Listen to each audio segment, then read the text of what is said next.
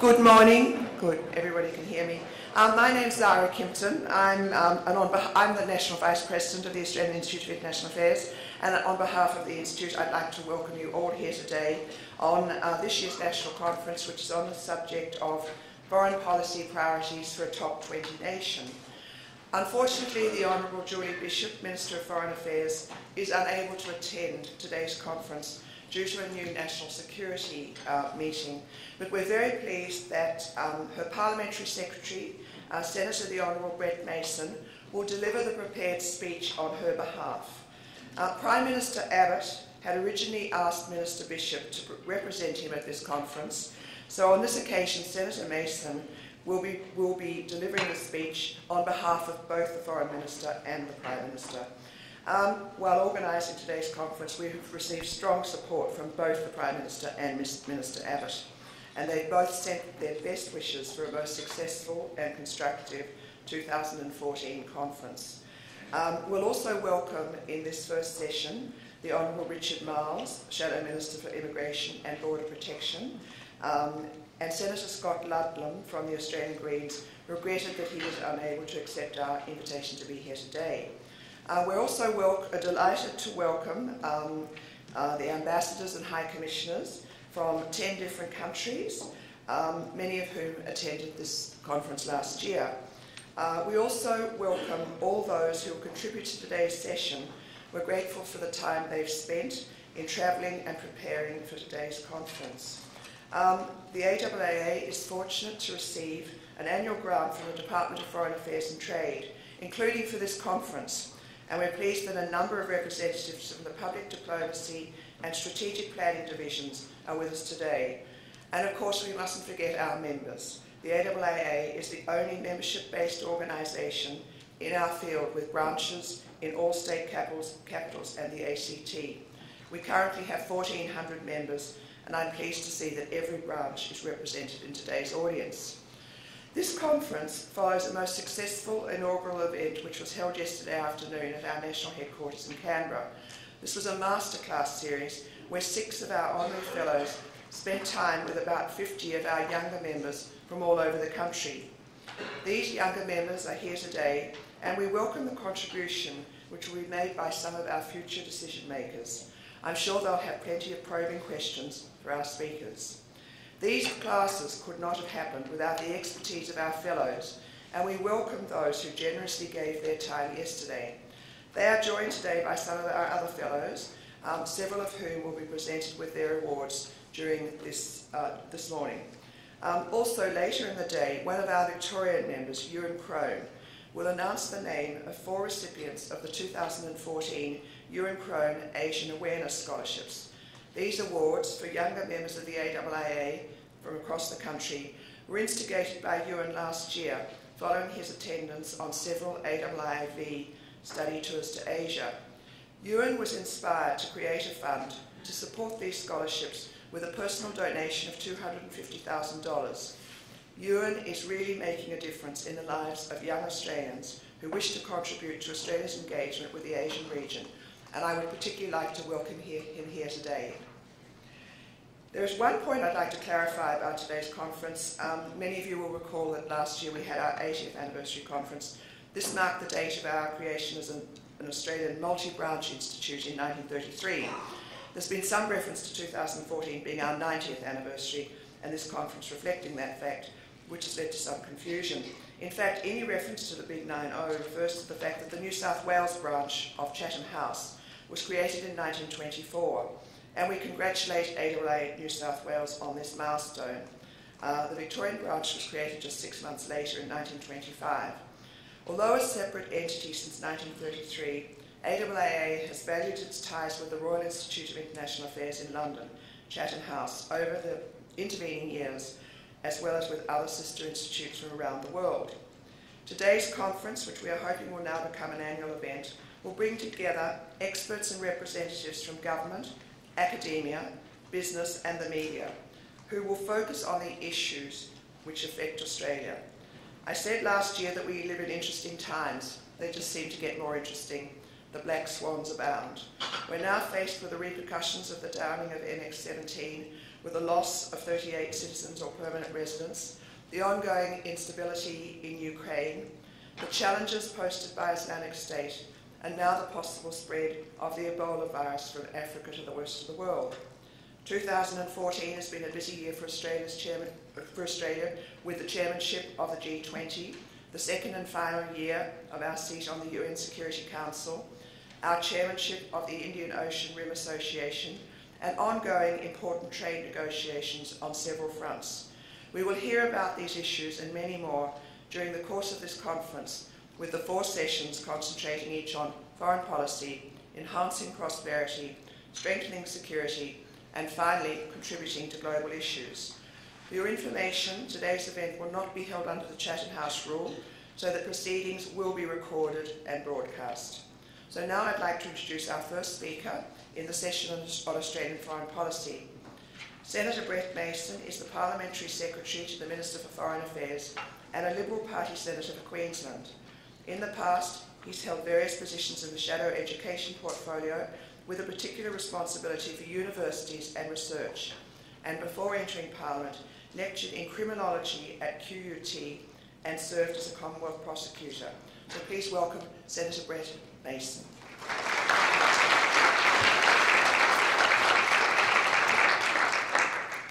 Zara, thank you for that uh, warm welcome uh, and good morning everyone to, uh, to John McCarthy, the uh, National President of the Australian Institute of International Affairs.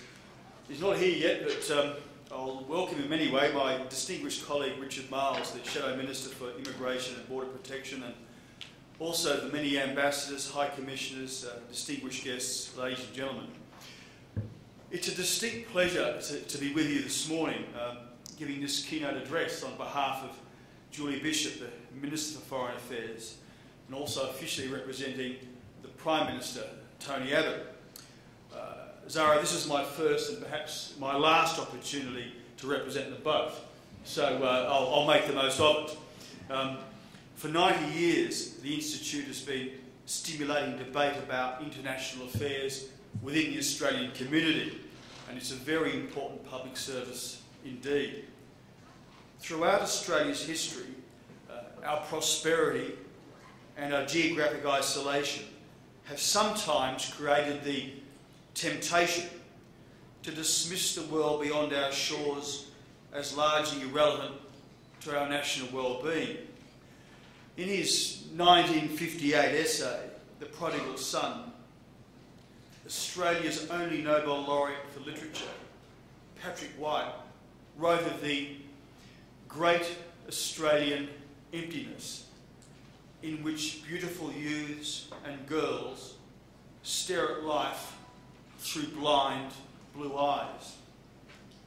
This is no longer the case. When Australians look at the world, their stare is no longer blind. Australia is now more prosperous than it's ever been before in its history, and also less isolated than it's ever been. Far from the tyranny of distance, we are now exposed to the tyranny of proximity. No threat, no threat and no opportunity, however remote it might seem, is without some resonance and relevance for our country. That's why I'd like to pay special tribute to the Institute and thank you for the essential work you do educating and indeed engaging Australians in debate about the world and Australia's place in it. And our place in the world is, as this conference theme suggests, as a top 20 nation. Julie Bishop tells me it's a term she coined and has been frequently using since she became Foreign Minister a little over a year ago. She firmly believed that Australia's tendency to be modest, to be modest about our achievements, doesn't always work to our advantage. That sometimes we need to tell the world how good we are. Julie told me last week when we were discussing this conference, she said, Brett, I'm tired of hearing people say that Australia punches above our weight. In reality, she said, we carry significant weight and we punch in line with it. We're not a middle power, a term which gives the impression of sitting somewhere in the middle, the 193 nations that make up the United Nations. Our influence, our economic and our political influence, is so much more than that. Despite our relatively small population, on almost, on almost any measure you care to name, Australia is well within the top 20 nations of the world. Our membership of the G20 is the most visible sign of that, but far from being the only one. Our economy is the 12th largest on earth and the fourth biggest in Asia. We're the fifth wealthiest nation on earth based on GDP per capita. Our currency is the fifth most traded. And we are second in the world, uh, behind only Norway, in the United Nations Human Development Index.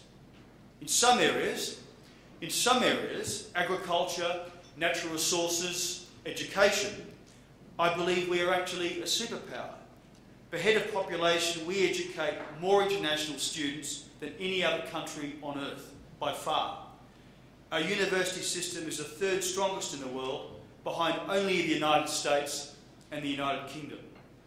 We should be immensely proud of these achievements, but they also bring with them a serious responsibility to play our part in building and maintaining global security. A top 20 nation uh, ladies and gentlemen, has to play a top 20 role. We've always taken our responsibilities seriously, from the battlefields of three continents, defending our values, to the meeting rooms of the League of Nations and then the United Nations, both of which we helped to found, and Australia continues to do so.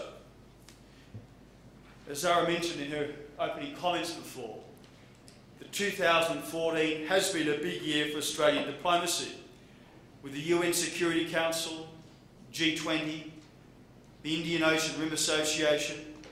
In each of these forums, we took the opportunity as a chair or a member to shape the global agenda and to encourage our international partners to work together towards greater regional and, and global peace and prosperity.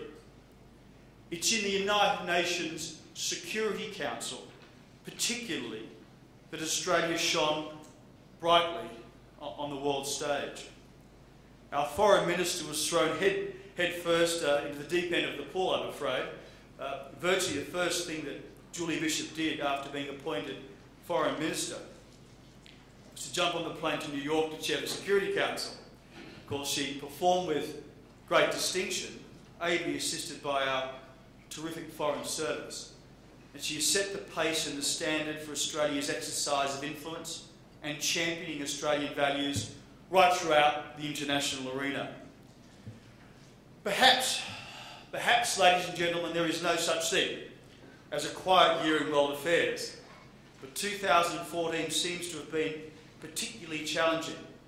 From Syria uh, to North Korea, from Iraq to Afghanistan, from the natural plague of Ebola to the man-made, to the man-made plague of extremist terrorist groups like Islamic State and Boko Haram, and all the way to Ukraine, the Crimean crisis, the instability, and the shocking loss of Malaysian Airlines Flight 17 in the skies above Ukraine, truly, we have had our hands full.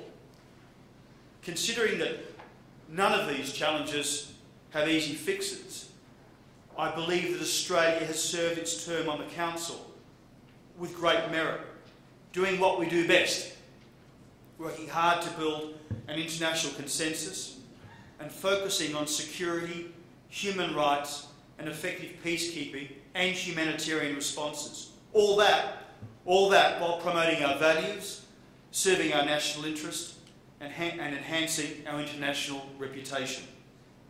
Nothing Nothing, ladies and gentlemen, demonstrates our skills in effective crisis response better than Australia's leadership in the days and the weeks immediately after the downing of MH17 in eastern Ukraine. We moved swiftly to demand justice was done for the 209 people on board, including those 38 that called Australia home, who were so shockingly murdered. The plane went down. The plane went down on Thursday. we moved immediately and successfully to secure access to the crash site. By Friday, our diplomats in New York had drafted a resolution and it was circulated to other members on the Security Council on Saturday. Negotiations began on Sunday, and by Monday, every one of the 15 mem- members of the Security Council was on board, including Russia. Without Australia's diplomatic effort, the Council's resolution 2166, calling for a full and thorough investigation of the MH17 atrocity, would never have been adopted, and the matter would not have received the international attention it needed and indeed it deserved.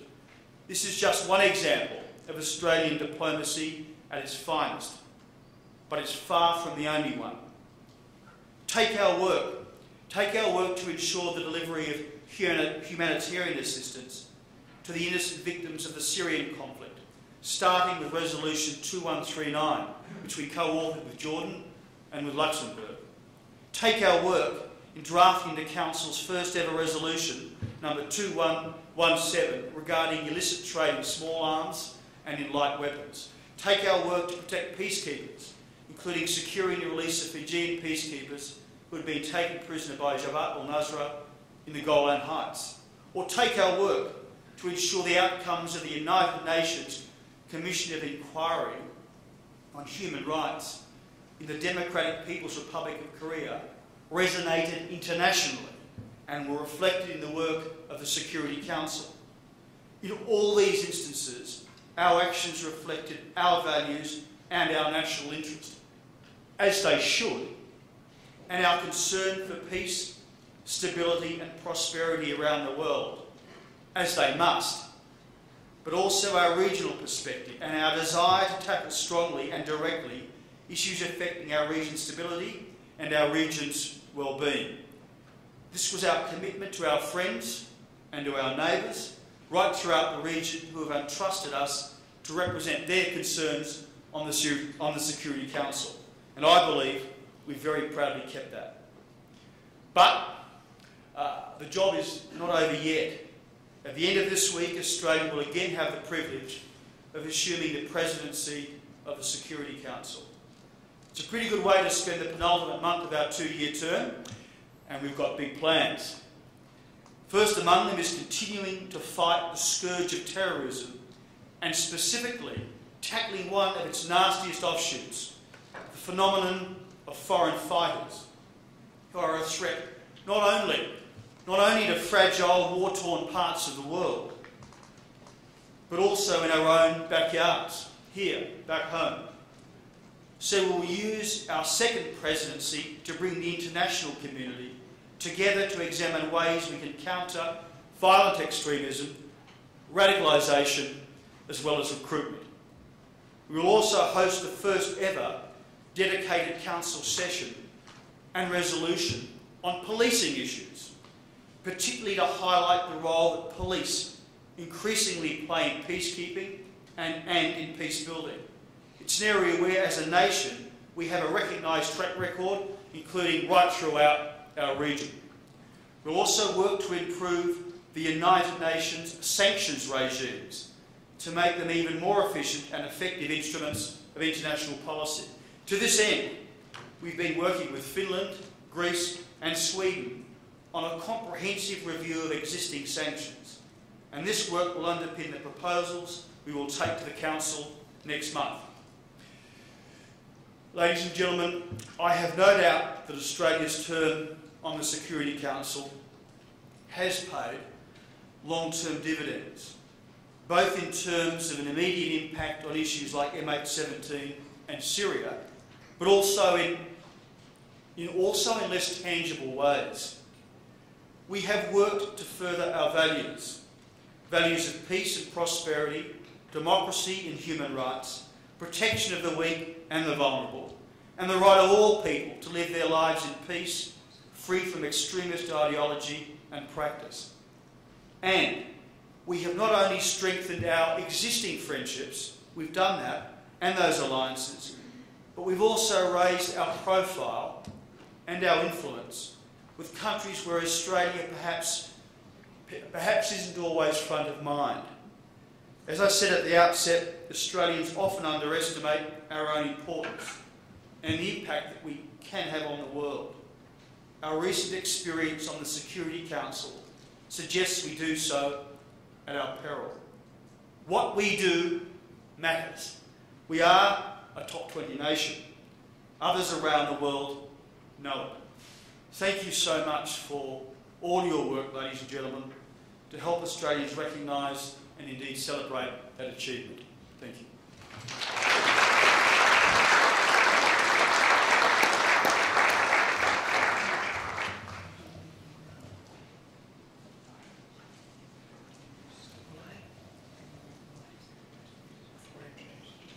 Oh, I can just sneak out.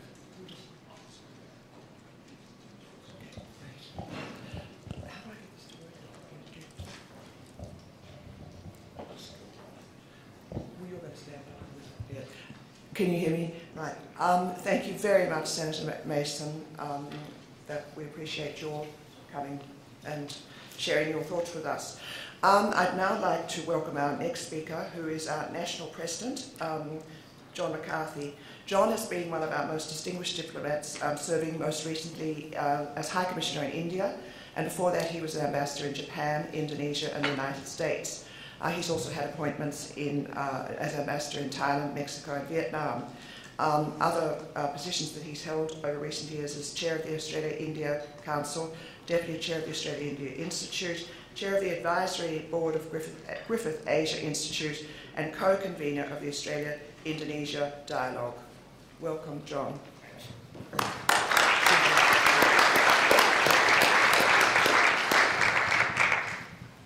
Well, thank you very much, Zara, and uh, thank you, Senator Mason, for uh, coming along. And thank you all in the audience uh, for coming to this second event, which we hope will be a series of annual events, which really focus on Australian foreign policy as a whole, uh, where we can uh, discuss uh, openly where we think this country is at. The defi- definition is, I think, as, as wide as that. Um, I'm just going to give you uh, a few reflections which have been on my mind for a few months uh, in the hope that it will stimulate uh, some debate and discussion. And I very much look forward to hearing my friend Hugh also talk uh, on essentially what is happening in the Australian environment. Uh, let me start by just mentioning that three, to go, three days ago I was in, in London and I was having lunch with uh, an old Japanese friend who used to work very closely with Prime Minister Koizumi, somebody you would call probably uh, to the centre, perhaps centre-right of the Japanese political spectrum, and with two uh, British foreign policy journalists. Uh, the discussion got on to uh, David Cameron's travails in London. Anybody who's been in the UK recently would understand the sort of pressures that are on that Prime Minister. Uh, well, we talked a little bit about uh, what he was facing on the foreign policy front, including the Ukraine, including Syria, uh, including obviously what has been happening recently in Iraq. And we talked also of what was happening in Northeast Asia. And the comment was made by one of the British journalists that, you know, the British really are moving away from the closeness of their alliance with the United States. There are too many other issues, there are too many other pressures on them. Uh, the EU issue for one, Scotland for another. Uh, they alluded to debates in the Parliament about deployment into Syria and the more recent debate in the British Parliament about deployment into Iraq. In all these cases, Cameron was having to negotiate with the people's representatives about what British foreign policy should be. And they looked over and they said, uh, by contrast, Australia has now become the closest ally by far to the United States. Uh, and the suggestion was perhaps that it was so close that we had very little room for manoeuvre. And these comments were made by, by both Brits and the Japanese at a lunch. And it made me reflect. It's not the first time I've heard this comment, but it's the first time it's been put to me by really serious thinkers about the international environment. And I have to say, it didn't make me feel very comfortable. And I'll come back to that. That afternoon, I took myself for a bit of a walk and I reflected on what that sort of conversation might have, uh, how that sort of conversation might have taken place 20 years ago, taking us back to 1994, at a time when I was our representative in Thailand. And had we had a conversation then about where Australia sat in the world, the conversation would overwhelmingly have been about our embrace of Asia, about a series of policies that had been put into place in the previous decade, which really meant that Asians took us seriously as a part of that world. In particular, you look at the role Hawke played in the formation of APEC. You have a look at the role that Keating played in enlarging APEC to a summit.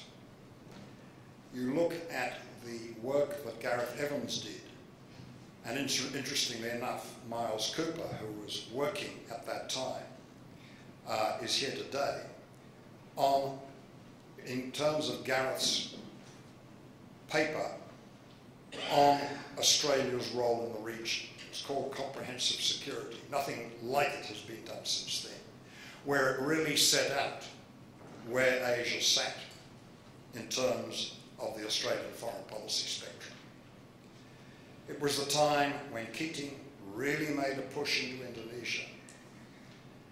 And it was really a very, very active time. It was also the time that Gareth Evans put together a construct for the Cambodian peace settlement. We were really very active on Asia, and we were regarded as such, and we were regarded as a player. And that brings me to the next comment, and it's this that if you were asked today what is the defining feature of Australian foreign policy, my strong sense is that the response you would get from leading interlocutors almost anywhere in the world is the proximity or the closeness of the United States alliance. Uh, I, I, sense that almost uh, without any reservation. And it wouldn't matter whether you talked with people in Europe or Northeast Asia or Southeast Asia. And that, I think, makes a very, very major sea change in the way we are now looking at the world as compared with the way we looked at the world 20 years ago. Now, what happened?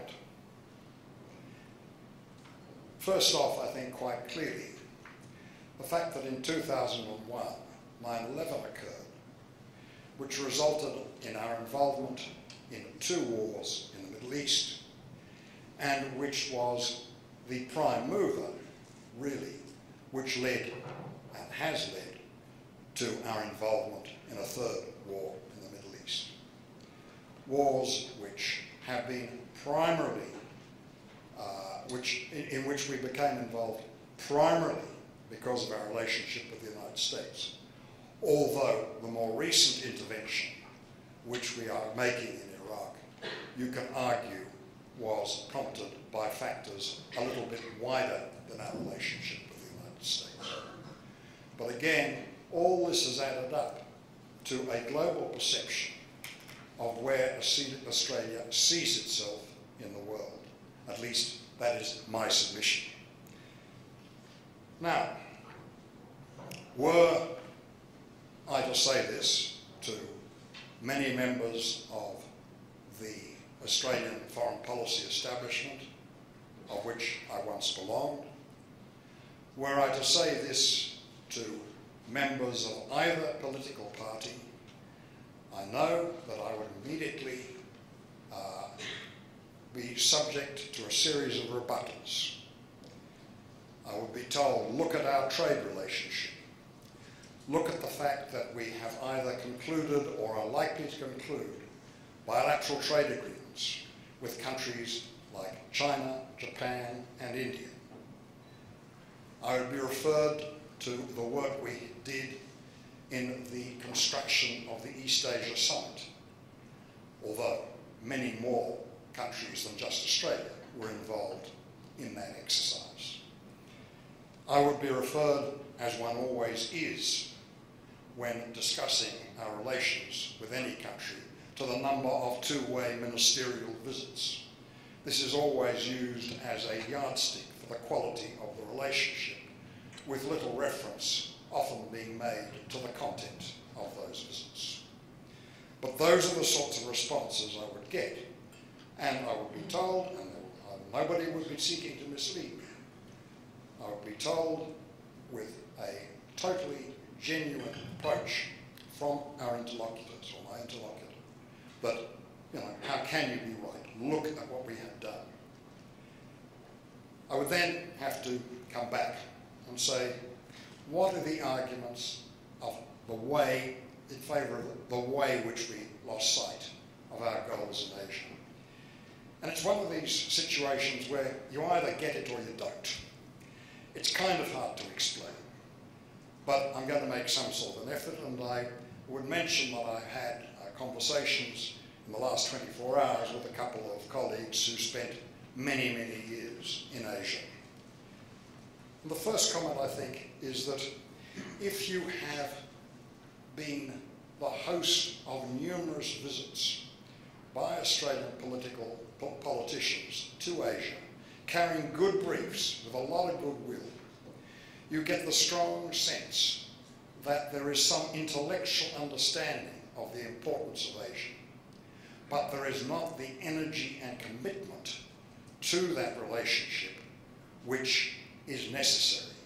It is far, far easier for a member of the Australian political class to go to Washington to be flattered by people who are an enormously significant but with a capacity for flattering smaller nations which is really quite astonishing.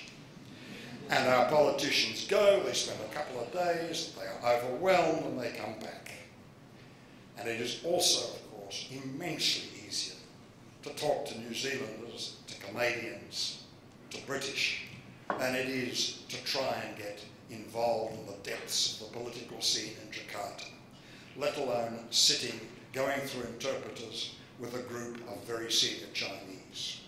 It is just tougher, and it is tougher for people who belong essentially to an Anglo-Saxon Western tradition and a political environment which is totally different to that of our closer neighbours.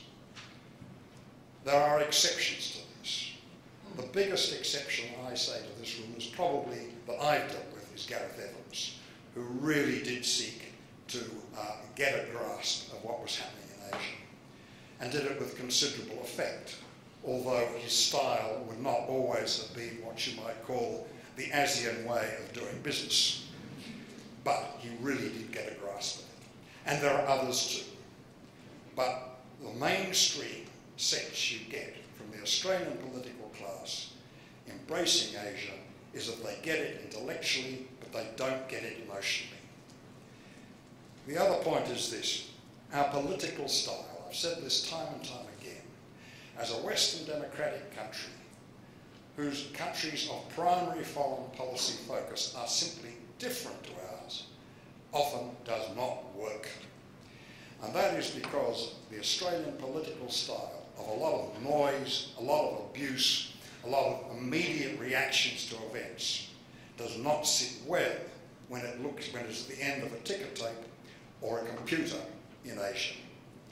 And the misunderstandings that you have because of that particular possibility or that particular uh, way, of, way of doing things uh, are really manifold.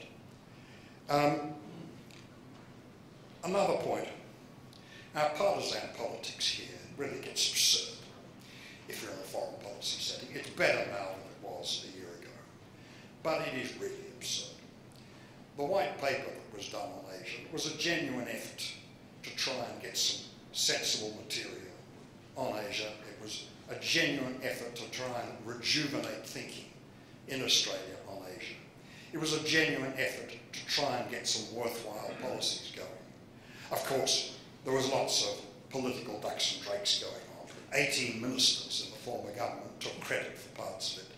Uh, by the time the politicians had played around with it, it bore no resemblance to what it was supposed to bear. And of course, the opposition really damned it with faint praise because it wasn't theirs. But, you know, there was a lot of very useful work in that, and it was put in not so much by government servants, but by members of the Australian community, right across the board, from the NGOs to the centre, to the left, to business, to the centre, to the right. And yet it was ignored. It was ignored because of partisan politics. And, and, and that's damaging, and it's silly. And it shows what's wrong with our approach. One government said, it's all great, we're not going to give you any money. The other government just ignored it. It's gone. It wasn't ours, so it's irrelevant. Okay. The other point that worries me is this reference we get occasionally to the Anglosphere. The Anglosphere actually goes back to Cecil Rhodes, but that's a bit old. That's, that's a bit crazy. But lately it's, got, it's been revived as a concept. And it's been revived as a concept, I think, partly because of the military exercises in the Middle East, where Anglo-Saxon countries or countries of Anglo-Saxon origin have been fighting together, but also because of the intelligence uh, establishment's linkage with the Five Eyes. And uh, you sometimes get the sense in this country that that is actually more important than the purposes which it is supposed to serve. And the classic example of that was the Indonesian farce of a year ago, where uh, you know, a lot of people who thought they were very smart uh, decided to, as we all know, uh, spy on the, on Indonesian leadership. Now, in seeking to resolve that, it was clear by the approach that we took that the fact that that Five Eyes establishment was sacrosanct was more important than the relationship with Indonesia, with which, which that particular set of tools is actually supposed to enhance. And again, I think none of that has been lost. Finally, and I don't want to get onto the refugees issue, uh, because it's complicated and it's detailed and it's a debate in itself. The one point I want to make here is not only is because of the way we have handled this refugees issue, and by the way, by the way we handle ordinary visas coming to this country, we give the impression to the outside that we're an unfriendly, unwelcoming, frightened country. And that's not good, that's not embracing Asia. Okay. So if I want to say anything, my first point is this, is that we have lost our way on Asia. The second point I want to make is this, and I leave this subject more to my friend Hugh. In terms of our dealing within Asia, the impression that we have quite obviously created by the first set of propositions that I've made, the importance of the alliance, is that we think Asia is less important than our relationship with the United States. That is the impression it gives. Everything is about impressions, and that is the impression it gives. Now, this issue of the alliance, it's not straightforward. It's not clear. The relationship with Japan and India actually probably benefits from the fact that we have a strong security relationship with the United States because it suits their policies. I think at the same time uh, there is a certain curiosity as to why there is absolutely no light between our position on security issues and on American positions on security issues. Both the Japanese and the Indians, of course, who are not allies, have considerable light between their positions on security issues and American positions on security issues. So they're probably curious, but it doesn't worry them because it's, it's basically in their overall interest. My sense of China, and there are people here who are much more expert than I am on this, is that Australia is of major importance to them because of resources. And if we, uh, if they hear our political baying, which passes for political discourse in this country, about them, I think they probably ignore it as something which, provided it doesn't get excessive, they, they basically accept, they ignore it. I might be being a little bit uncharitable towards ourselves, but that's my sense of it. Uh, it might, however, get excessive, and they might, at some stage, take a different view. I don't, by the way, suggest we should be pleasing the Chinese on everything we do, not at all. But what we need to do, I think, is have a policy which is based on Australian interests. And if you turn to the second page of Financial Review, Australian Financial Review, you will see a very interesting set of comments about the way we are approaching this Beijing-sponsored uh, Asian Infrastructure Investment. It's very curious if we do avoid going into that particular bank for political reasons. And the way that article reads uh, strongly suggests that this, at least for the moment, is our position. So again, it's Australian interests. Now, where does this harm us? I think in a changing world, Asia is changing, if we are not seen for speaking as speaking for ourselves on security issues, people will not listen.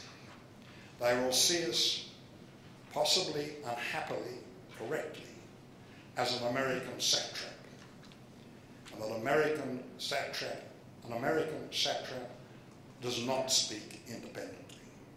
And any views we might have will simply be discounted. And finally, and here again I revert to the Middle East, and that again is a subject on its own. And I don't really want to get into the, uh, those arguments because that would take another 15 minutes. But one thing about the amount of political energy we put into those issues is that it detracts from what we can do in this region. No country has unlimited foreign policy or political. A lot is beginning to happen in Southeast Asia. We've had a new government in Indonesia. There are problems in Thailand that are unresolved. There are problems in other parts of Southeast Asia that are also unresolved. We have to deal with Southeast Asians on major security issues, how we are indeed going to cope with the rise of China. And our propensity, our capacity to do all this is derogated from if we continue to be seen as a satrap. Okay, that's enough.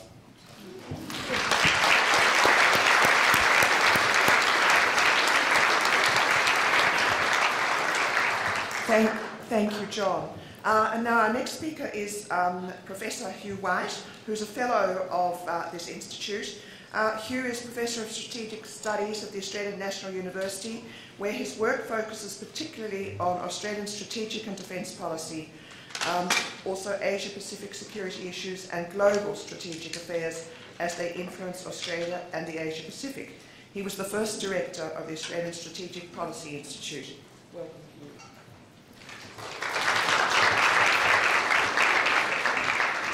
Well, uh, thanks, Zara. It's a great uh, pleasure to be here. Nice to see a few old friends in the audience. Well, big subject, of course, not much time. I'll go fast and be very, well, I'll just focus on a couple of issues. Setting priorities, of course, is always hard. Touches on a point that John just made. And there's always lots of interesting things happening out there. Uh, as uh, as uh, Senator Mason said, there's lots of interesting things happening. Australia's role in the UN Security Council, our role in the G20, the tragedy of MH17, even significant challenge to regional and to a certain extent even global order posed by current developments in the Middle East. Uh, these, are, these are significant issues for Australia, but in the end we do have to set priorities. And if we think about Australia's foreign policy, the key question we've got to start with by asking is which of the issues that we face will do most to shape Australia's future. And it is worth bearing in mind that foreign policy is serious in the end because sometimes, not all the time, but sometimes in countries' histories, the way we conduct our foreign policy shapes the whole future of the country. Because it shapes the way the international setting in which we function, we or any other country, in which we function, and the extent to which we can realise our basic national objectives of prosperity and security. We in Australia are not used to thinking of foreign policy in these terms because for quite a long time, for about 40 years, we haven't had to. Because for 40 years, roughly speaking, Australia's international setting has been extremely stable and extremely congenial. It's been very easy for us to build a stable, secure, prosperous society on this continent over the last 40 years because the international setting has worked, worked so well for us. And we've got out of the habit of thinking what we need to do to make sure that that setting remains so stable. We've got complacent. Now these thoughts um, are partly prompted by Gough Whitlam's death last week. Big subject, very ambiguous character, made lots of mistakes, got a few things right. And as much as anything, huge achievements obviously domestically, but as much as anything, what Whitlam got right was China and the visit to China. Whitlam's approach to China helped to shape, fundamentally shape Australia's place in the world, fundamentally shaped the kind of place in the world that we have today, and more broadly contributed in significant ways to shaping the way the whole of Asia evolved. We've got very used to thinking of the way Asia in fact evolved after the Vietnam War. It could have evolved in lots of different ways. There might not have been an opening between America and China. America might not have stayed engaged in Asia. There were very strong reasons to think that both of those were real possibilities. In fact, they didn't happen. In fact, America stayed engaged in a close relationship with China, which provided the foundations for so much which has happened.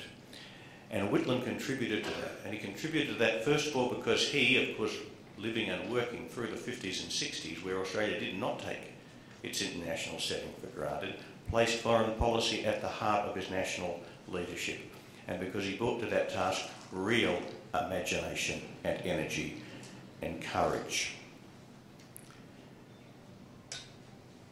And I would say that today, again in Asia, we face fundamental changes in the way Asia works, which do threaten the kind of order that we'll see, that do threaten our confidence that we, our international setting will allow Australia to live in the security and the prosperity that we so readily now, after 40 years, take for granted.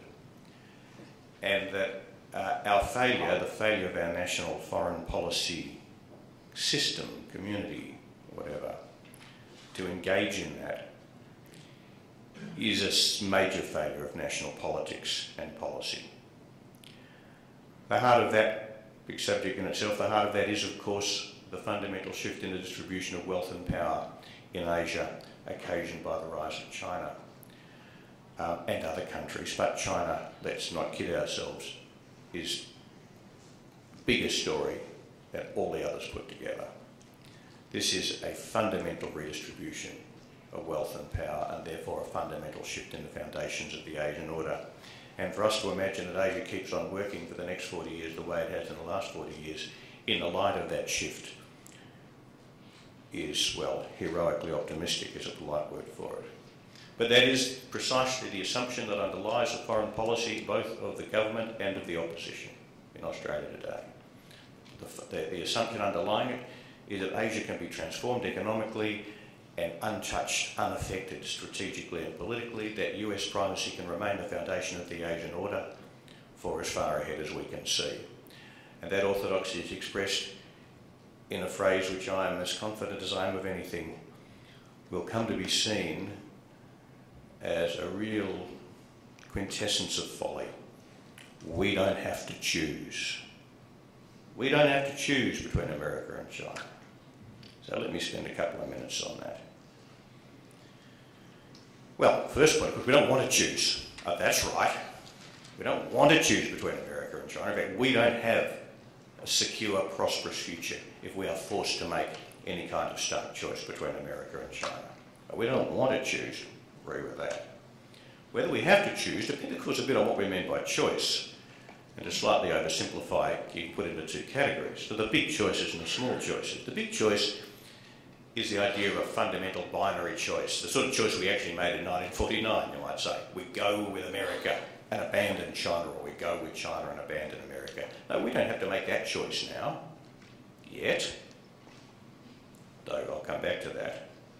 But the other choice we need, we need to think about are the small choices, the choices that governments, countries make all the time, where do we do what they want or do we do what they want? Do we give them a preference or do we give them preference? That kind of choice, the small, tactical, but cumulative and collectively very significant choices about how we balance between two competing powers, we make those choices all the time. And we're making more of them as every year passes, and they're becoming more significant as every year passes, and they're doing more and more to condition the circumstance under which we might or might not have to make that big choice in the not too distant future. Now, that's happening because the US and China have increasingly become strategic rivals. We haven't had to choose because the US and China have not seen one another as rivals, actually strategically, economically, or any other significant way. That ends. That ended, I think the historians will judge, from China's point of view, somewhere around about 2008 or 2009, where China started very clearly pushing for what Xi Jinping calls a new model of great power relations. And let's be clear, when he says a new model of great power relations, he means he doesn't like the old one. He means he doesn't accept an Asian order based on US primacy. And that's new. And from America's side, the year of, of escalating strategic rivalry, I think, will be, will be dated from 2011, in fact, from November 2011, in fact, from the speech that Barack Obama gave in our parliament announcing the pivot announcing America's intention to use every element of American power to preserve the status quo, the status quo that China rejects, quite unambiguously rejects. And in particular, since that has happened, Australia has more and more faced small choices, they're not actually that small, small choices between the US and China all the time. The AIIB, the Asia Infrastructure Investment Bank choice, which John referred to, is, a, is, is right now a very current, very interesting, quite resonant example of this. But there are lots of others. In fact, it's happening all the time because in the last few years a new and very important diplomatic reality has emerged for Australia. In every field except economics, and of course that's a pretty big exception, but in every field except economics, strategically and politically in particular, Australia is seen by the US and China primarily in relation to the other. That is, they, they, they, both of those two great countries see Australia, see their relations with Australia, manage their relations with Australia primarily in terms of where Australia sits in the escalating strategic rivalry with the other.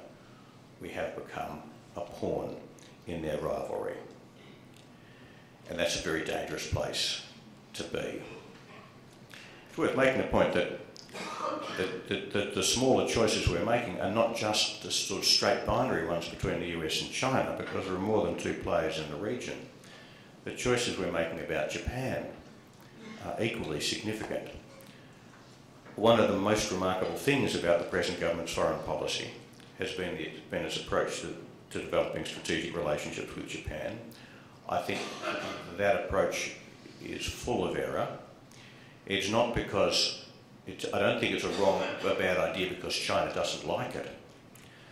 I certainly don't think it's a bad idea because I don't think Japan should be secure and that we need to contribute to a regional order in which Japan can be secure. I think it's a bad idea because the approach that the, Abe government is taking, which the Abbott government is so strongly supporting, is not going to deliver a secure future for Japan. It's also not going to deliver a secure future for Asia. It's not in Japan's or Australia's or Asia's interests. We are making choices to support something which is not going to work for them or for us. And that just does touch on the broader point. That is that the choices that we make, these small choices, are important. Not just in themselves, they are quite important. Things like the AIIB, things like Marines in Darwin. These are important issues in themselves. But they matter because they frame the way the whole, they, th these are the bricks from which the new Asian order emerges. Little choices by us, by others. But we shouldn't underestimate the importance of our choices. After all, it's not just the government, it's also the opposition that keeps telling us that we're a terrifically important and significant country and that what we say and do really counts in the world. We don't act as if we really believe that when we think about what we, the way we conduct ourselves in relation to Asia. I think, at least to that extent, they're right. What we do does matter. And because we don't, as a country, because as a foreign policy community, we're pretending we're not making these choices. We're not making them well. And indeed, I think both government and opposition don't want to identify the choices we're making, don't want to explore and explain and choose carefully about the choices we're making because they don't want to address the underlying tough realities that have to be faced. Now, that's not what Whitlam did. When Whitlam went to China, and of course the visit to China was the culmination of a long and very focused and energetic process of policy development, he was making a choice. A very difficult and politically courageous choice. A choice which in retrospect was of course 100% right. In fact was vindicated within days of his visit by the fact that, that Kissinger was there at the same time. But that kind of choice, well, I don't think Whitlam would have said we don't have to choose. And neither, to be fair to the other side of politics, did Liberal politicians like Gorton and Fraser think we don't have to choose. These people really engaged in what was happening in the Asia of their day and were willing to take the debate to the Australian public, explain the choices we face and make them intelligently. And, we, and the Australia we live in owes a lot to the way in which they did that because the Asia we live in owes a lot to the way we did that. And that brings me finally and very briefly to the big choice. Because it is, of course, entirely possible, entirely possible, not inevitable, but entirely possible, that Australia will face the big choice at some stage. Anyone who thinks that escalating rivalry between the United States and China could not produce a situation in which Australia finds it impossible to maintain both relations as they exist today hasn't been paying attention to how dangerous Asia has become. And we must do what we can to reduce that likelihood, to reduce that risk. Um, if we don't want to be forced to make a big choice between America and China, we must do whatever we can to reduce escalating strategic rivalry, to contribute to the emergence of a new US-China relationship which will not look like the old one, but which could provide a basis for them to step back from the escalating rivalry of recent years and find a new way to live in peace. Nothing is more important to Australia's future than that that succeeds. Because if we fail, we will have to make that big choice. And don't rely on the United States to get it right. I have great respect for the United States, the traditions of United States statecraft. It was, after all, US statecraft, amongst others, that delivered the stable order of the last 40 years. But no one who talks to Americans about the future of their relationship with China can but be struck by the fact that America does not know how to respond. They're not getting this right. And I understand why they're not getting it right, because it's very difficult for them. But boy, if Australia just sits back and assumes that the Americans are going to get this right, we'll be making a heroic and historic error. We have to think this through for ourselves. We have to do what we can to shape the region ourselves. We have to work with other countries in Asia as well as the United States and China to shape a new order in Asia which limits the risk of escalating rivalry and enhances our chances of security and prosperity. there could be no higher priority for our diplomacy. No higher priority. Nothing that's happened in the Security Council while we've been there is nearly as important to Australia as this. Nothing that will happen in the G20 is nearly as important as this. Not that they're not important, they're just not as important as the big one.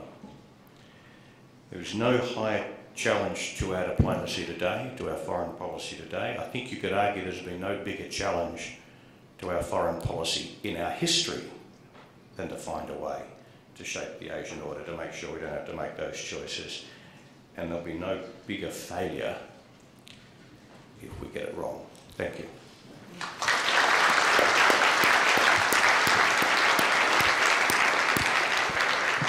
Thank you very much, Hugh. Now we have 15 minutes um, in which uh, both Hugh and John will take questions um, at the same time. So, uh, well, I mean that the, the session is, you can choose uh, if you'd like to ask, um, put your question to, to, one or other of them, or perhaps to both and they, they both reply. Um, could I please have hands? Now, do we have a roving microphone? Uh, right. And here, we have the first one here, please, Richard Broinowski. Um, if you could say, state your name and any relevant affiliation. Thank you. Richard Broinowski, President of uh, New South Wales uh, chapter of AIIA. This morning we've heard two, I hope, speeches that might in fact have a, a resonance and influence on the way both the government and the opposition react to the world situation in future. And it's a pity that the, the, the chap who was representing Senator Brett Mason couldn't stay to hear it. I hope that he gets a full record. My comment, uh, observation, if I may, to both speakers is that this relationship with China is becoming more stringent, more difficult. There's a recent report from the Foreign Correspondents Club in Beijing that shows that the Chinese are giving shorter and shorter shrift to the normally more liberal uh, allowances that they gave to foreign correspondents in China. They're restricting them in all sorts of respects in all sorts of regions. We have a very small project there to send the best and brightest of our junior of, of students in media to, to study and to work as interns in Beijing media. And this is the second year it's coming up. Thank goodness they're still allowing us in. But the way we are being treated, and the Chinese are very subtle about this, the way we're being treated in all sorts of respects, as are American uh, statesmen who go there, is a, a clear message that the Chinese are not going to tolerate much longer the assumption that we make and that the Americans make that they call the shots in Asia. So I just want to congratulate both, both speakers and say it's, it's well thought out, it's visceral, it's important, and let's hope that the Australian government and opposition get some resonance from this. Thank you. So, Richard, is that really a comment rather than a question? Comment rather than question. Okay, thank no, you very a question, much. Of course, not a comment. No, and you have not to respond. It, right. The next question, Miles Kupa.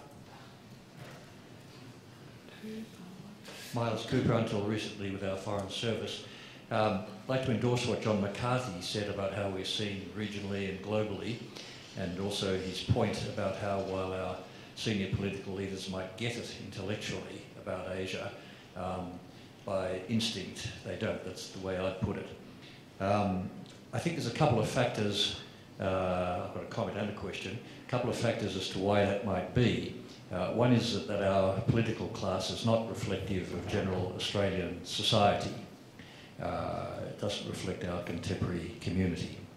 Um, secondly, we've seen the rise of a political class uh, which is developed from within. It doesn't reflect, it doesn't have a background in broader Australian society. They're apparatchiks largely, and I think that they uh, therefore have not had the exposure to Asia of other sectors of Australian society like business, universities, uh, even our military and our police, I think, uh, and parts of our bureaucracy. It's very difficult to shift those factors. Uh, I think there are some uh, institutional and policy settings which would assist. And I'd be interested, John or Hugh, if you think there are things that could help uh, give our political class greater exposure and understanding uh, of the region um, uh, to, to help correct this situation. In the meantime, I guess we should be grateful that at least some of our leaders do get it about Asia intellectually and even instinctively. And I should add that I think our foreign minister, our current foreign minister, got it uh, earlier from even before she became a politician. Thank you. Um, look, I'll just take the point on uh, the political class. Uh, I agree, and I think that's you, you hear that view commonly expressed not only in the context of foreign policy, but in the context of domestic policy generally. I think it's a real challenge for this country, but uh, I'm not particularly qualified to make that comment. On, it's, I think, just, it's pretty obvious. Look, the other point I just think on, you know, how do you make the political class more aware? I think probably there are two things. Uh, serious visits to Asia. But the thing that will count most will be indications from the leadership of the political parties that if you really want to get on, you have to understand the region. That'll get a reaction out of the political class. Yes, if I just, um, I, I very much agree with the basic point you're making, Miles, and I just want to give a, a, a tentative diagnosis of my own. I think there are two factors here which have led to a reduced quality of focus by Australian politicians on both sides of politics to the sorts of questions we're talking about. Um, one, one has to do with, the, with their experience. Um, if you look at the Prime Ministers, for example, all of Australia's Prime Ministers, up to and including John Howard, came of age politically during the Cold War in Asia in the 50s and 60s. They came of age in politically in era where debates about Australian foreign and strategic policy were right at the heart of Australian politics. The more recent generation of Australian political leaders have come of age in an era which is actually past not just the end of the Cold War in Asia in 1972, but the end of the Cold War, full stop in an era where foreign and strategic policy hardly counted. And that's not bad in a sense, was because we had a very stable, peaceful order and there wasn't too much work to do. There weren't big choices to be made. Now there are big choices to be made. These guys found themselves, find them, these people find themselves, um, I think, caught short.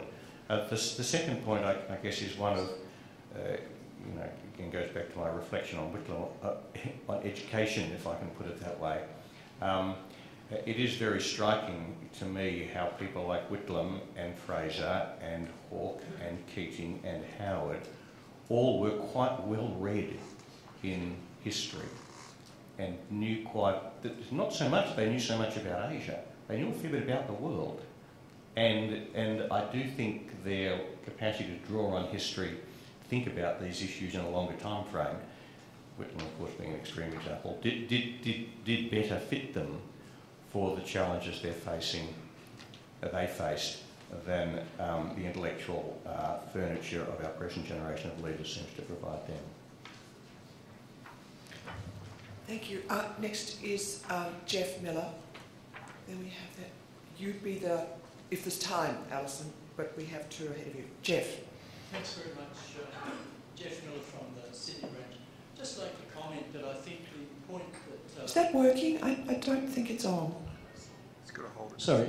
Uh, I think that the point that we have to think for ourselves is particularly appropriate at the moment because if you look at both the US and China, I think neither of them are in particularly good shape. Uh, I was very struck uh, by the front cover of the latest issue of Foreign Affairs, which uh, had on the cover, See America, Land of Decay and Dysfunction. And this is quite striking coming from the Council on Foreign Relations. And I think indeed the, um, the US public at the moment, it's reeling from the financial crisis, and from the terrible wars in Iraq and Afghanistan, neither of which uh, seem to be likely to produce anything uh, desirable.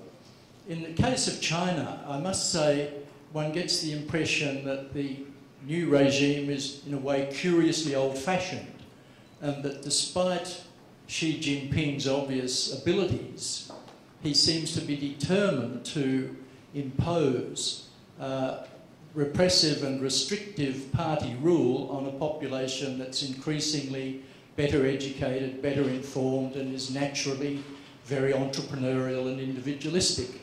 So I think we can't really have enormous confidence in either regime, which brings us back to the point that Hugh made. We really have to think very hard for ourselves. Thanks.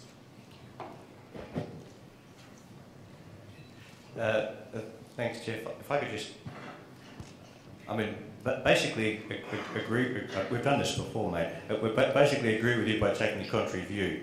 Um, and, that is that, of course, both China and America have huge problems, but I guess what strikes me is not so much how many problems they have, but how bloody strong they both are.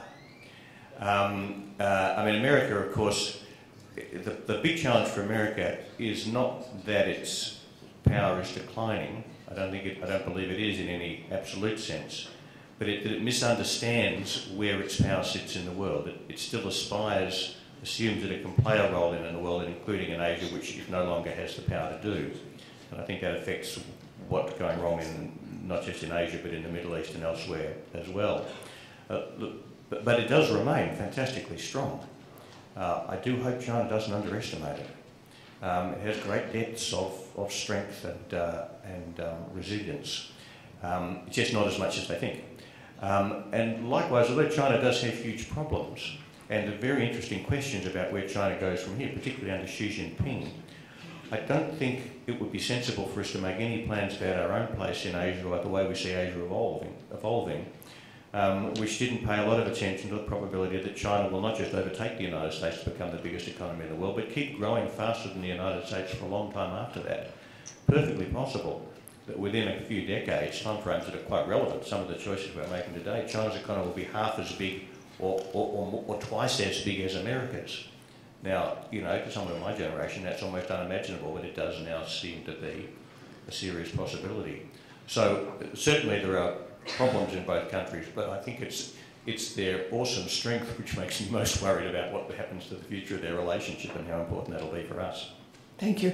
Now, look, we do have two more questions that I can see. We're, we're virtually out of time because we're having the presentation of the Fellows Awards. So, um, Your Excellency um, and Alison, I'll try, if we could both try and make them quick questions and quick yes, answers uh, so we can keep to time. Please. There we go, Ambassador of Argentina. Uh, for both uh, Hugh and John, the, uh, you mentioned both the question of this new bank, development bank that the Chinese are are promoting. And uh, certainly, when you go to the agenda of the G20 infrastructure, is an essential thing, precisely this year. And uh, uh, the, you could you could feel somehow there is some frustration in, in a lot of quarters in the way that the World Bank and the IMF has functioned, the, the slow response to the to the changes, so that uh, it's not shouldn't be surprising anybody that the China and other countries are actually going ahead with that, and probably most of the money needed for infrastructure will come from, from China anyhow. So the, the I was a bit surprised by the position of the, that the papers are reflecting Australia is not going to be a part of that because obviously if you have any sort of a, a doubt on which the way that you take, probably it's best to be in. That's my, my gut feeling. Absolutely. I think it's a no-brainer, personally and obviously some in the cabinet do too, according to, the press reports. Yeah, exactly. Um, uh, you know, China, China has the money. Um, the, the, the other international financial institutions in Asia don't have a very good reputation. China does have experience in engineering the most amazing explosion infrastructure in its own country in history. Um, uh, but of course, China will run the bank as much as it can according to China's rules and to suit China's interests. Gosh, fancy running an international financial institution on that basis. How shocking. And this will challenge American leadership in Asia, which is why America opposes it. If, if, you're if, you're in Washington and your objective is to preserve US primacy as a foundation for the Asian order, you're right to oppose the AIIB. But that shows that that's a dumb objective for America to set out, set out to achieve. Thank you. Um, Alison, final question. My question is rhetorical in effect because it's really for Senator Mason, who isn't here to hear it. How is it, I would ask him, that the Abbott, in opposition, uh, the Abbott government, that when in opposition, opposed our bill for the, our bid for the Security Council, saying it was a waste of money, is now taking credit for our performance there, and yet the, the slogan with which we ran that bid was, we do what we say. Now, in fact, in spite of what he told you this morning, we have not done what we said.